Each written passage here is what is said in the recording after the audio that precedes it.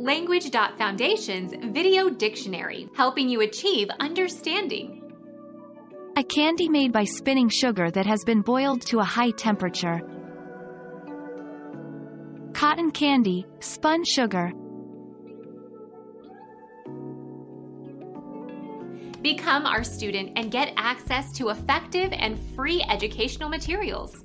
Subscribe to our channel to become a part of our growing community and to learn English effectively.